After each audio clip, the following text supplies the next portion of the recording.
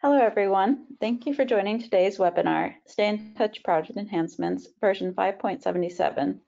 Select entity and payment method associated with the bill, payment method for hidden or removed bills, and more, presented by Stayntouch implementation consultant, Natasha Leck. I'm your host, Erin Fisher, the content writer here at Stayntouch. Today's presentation will cover how you can get the most out of the Stayntouch PMS version 5.77 project release. In this webinar, we will cover the following enhancements.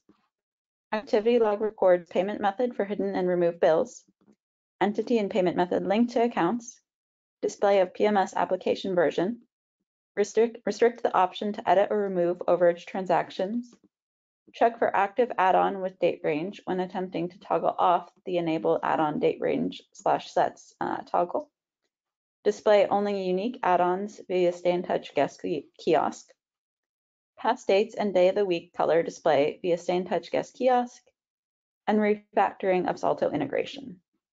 We'll have a short Q&A session at the end of the presentation. Feel free to submit questions throughout the presentation and we'll answer them in the order they're received at the end. And that's all I have right now. Natasha, I'm going to hand the presentation over to you. Thank you, Erin, and thank you for that introduction. Mm -hmm. All right, let me dive right in. Uh, the first item of the release notes uh, talks about the activity log recording payment method of removed bills. So I'm going to go to a reservation here in my demo environment. And here I have linked a second guest or an accompanying guest as well as a company card. And when I go to the bill and charges here, I am able to change or associate the bills with different uh, people or company or travel agent cards. So here you can see that this one is set to uh, the primary guest, which is me. And then here you can see that there's a different payment method together with my accompanying guest. And here for bill number three, I have uh, the company card set up with the cash payment method. Now, if I remove this bill, and I now go back to the stay card to the activity log at the bottom here, you can see that the activity log now records that removed bill. So you see the hide bill, bill number three, um, and you can also see the payment type that has been removed, the cash payments. The second part of the release note is relating to entity and payment method linking for accounts. So from the menu, you can either go into a group or a house account. Uh, for my example, I will go into front desk and accounts. And I prepared an example account here. And when I now go to the transactions tab, over here, you can see the payment type drop down selection. So here I can decide who is paying and select the payment method and entity, entity that is paying for the bill.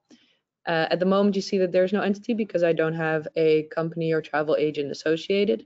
And here you would be able to see the different payment types. So if I now associate a company card,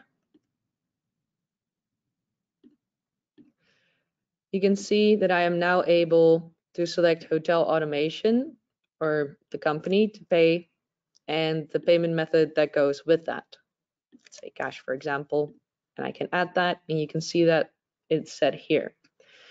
This also means that the invoice will now have the company on there on the left hand side. So if I want to generate the invoice, you can also see that because I've now linked that company card, the option to dis to select company or travel agent is not possible anymore because I am already generating an invoice for the company.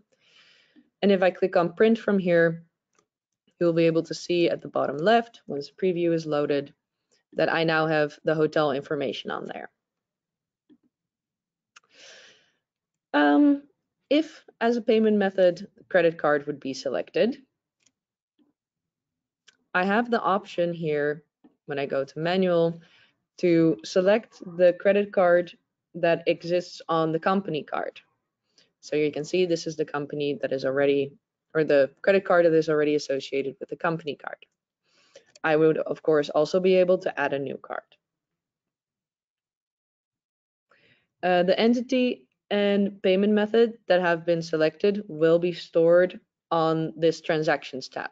So if I go around and I come back, you can see that what I've selected will stay here. Um, it is possible to select direct bill here already. You can see that this now gets added. Um, and the direct bill functionality when paying will only work if you have a company card attached to the account. Without a company or travel agent, you won't be able to uh, pay the bill to direct bill. When I remove the company card, you can see that I get a pop-up straight away uh, saying removing card may update billing and rate information. And when I detach the card, you can see that the hotel automation option uh, as the option to select as an entity has now disappeared. The bill will be assigned back to the account itself. The activity log here will also record added payment methods and entities, as well as removed company and travel agent cards. So if I now go to my activity log, you can see that I have removed the company card here, but you can also see the payment method removed and here um, the other one that I have removed together with the payment type as well. All right. The next item is going to be relating to the About application. Um, in the settings, when we go into menu, settings, and settings again, a new tab called About application can be activated, which you can see here at the bottom, to see the current PMS version, which will display over here below. Uh, please contact support if you want this to be activated. The next topic of our release notes is associated with allowances, which means uh, that, or what this specifically relates to, uh, is that it's not possible to edit or remove an overage transaction on the bill and charges. So if I go to my reservation, I'm gonna just pull this one up. In my bill and charges, you can see here that I have allowances set up for this property, and you can see that I have this charge code 201, where I have used um, the restaurant food as an allowance, and here you can see that I have an overage. And that overage has been posted here on the bill as expected for restaurant food. Making corrections to this um, will have to be done manually from now on. So if I click on the purple pencil and when I click on remove charge, I will get a pop-up that says, hey, you have to manually adjust this on the bill. But if I click on edit charge, I will get that same pop-up as well. So any uh, adjustment, as I said that you want to make to this, you'll have to do that manually. We're going to go back into settings for the next subject. Settings and settings again, which relates to uh, the add-on with date range toggle. Um, in settings, rates, and add-ons, I have created a add-on with date range. And here you can see at the bottom that I have that date range set up from January 9, 29th to February 3rd. Because this add-on has a date range, um, we now have the new feature that in rates and rate add-ons and settings, it will not be possible to disable the add-on date range and sets if you have an add-on that has that date range attached. So if I now try to save this, you will see that it gets toggled back on and I get the notification that says unable to deactivate as add-on with active date range exists. If there would be no add-ons with the date range or set, I would be able to deactivate this toggle. The next item that I want to display is relating to kiosk and the option for unique add-ons that we have added. So at the moment, the add-ons that currently display on the kiosk. Let me just open up the kiosk.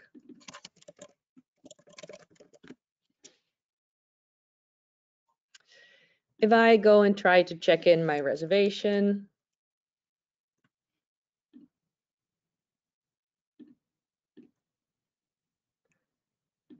let me just continue here.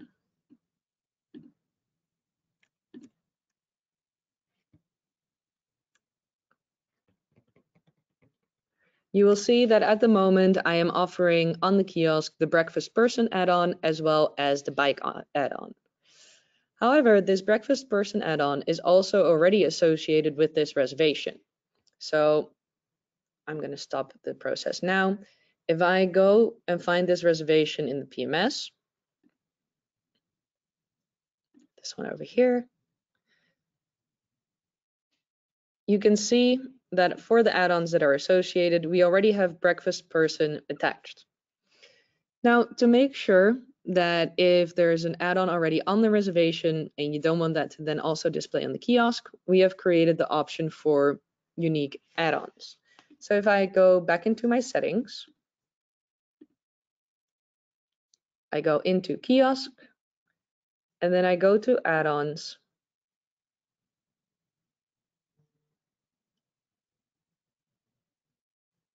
You can see here that these are the add-ons that we are showing on the kiosk. I can decide to click here for display unique, only unique add-ons. We save that. And then when I try to go through that flow again on the kiosk, let me just take you through the steps again. To get to right? We can see here breakfast person has been associated for this reservation. And then when we get to the add-on screen, you can now see here that the breakfast person doesn't get offered because that is already associated with my reservation. So of those two options, only the bike option in this case will remain. That is what the unique add-ons functionality uh, will now do. Something that I cannot show, but I want to highlight during this release note is that the integration with Salto has been enhanced, supporting functionality uh, with common areas as well as mobile keys via the JustIN mobile app. Hotels looking to update their current Salto integration can reach out to support to get this process started. And then the last item of the release notes today is relating to the kiosk as well. So I'm going to stay here. For the keys for the kiosk, past dates on the calendar uh, used to default to white. So if the chosen background color for, uh, let me go to the kiosk design setup here. If the chosen background for that kiosk, like you can see here, was white, you would not be able to read the date boxes or the dates in the boxes. So with the change that we've made now, uh, past dates are now reflected using this text color option here. So if I go into my kiosk and I'm going to put in my name and I'm going to select my departure date, you can now see that all the uh, dates here are displayed and the color that it uses is that color that is set in the kiosk design setup and then this text color right over here. All right, those were all the items of the release notes that I wanted to go over today. Awesome. Uh, thank you, Natasha, for that presentation. I'd now like Happy to turn over the floor for uh, questions. Remember, you can submit questions through the question box in the middle of the control panel. So I don't see any questions yet, but I'll give everyone a few seconds to enter those.